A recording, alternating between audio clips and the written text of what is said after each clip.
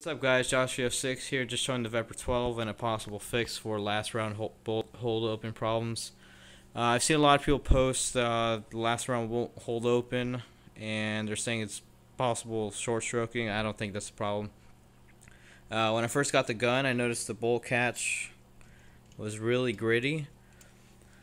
And when I would put an empty mag in manually here in the mag well, uh, the bolt catch wasn't going all the way up, so something stopping it. I looked in further and I saw this uh, all this wear right here. It's basically the hammer spring wearing on this uh, bolt catch link, I guess you could call it. So that's where the grit was coming up from. And one simple fix, I guess, could be could grease it up, maybe polish it. I was thinking about dremeling uh, the, basically all this wear off and that might just move the wear marks back more where the hammer spring here in the back would just be contacting there and just defeat the purpose.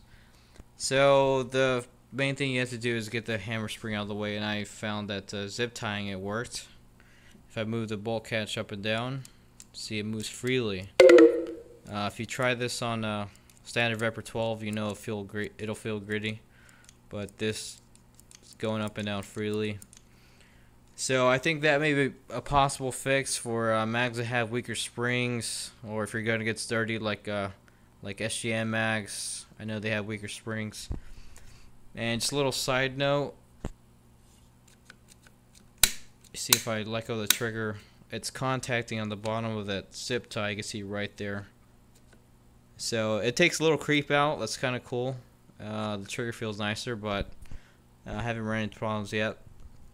Uh, so this is Joshua 6, uh, Vepr 12, bolt catch fix. Contact me if you have any other ideas of how to make this spring stay out of the way. Uh, just share them. Alright guys, thanks for watching.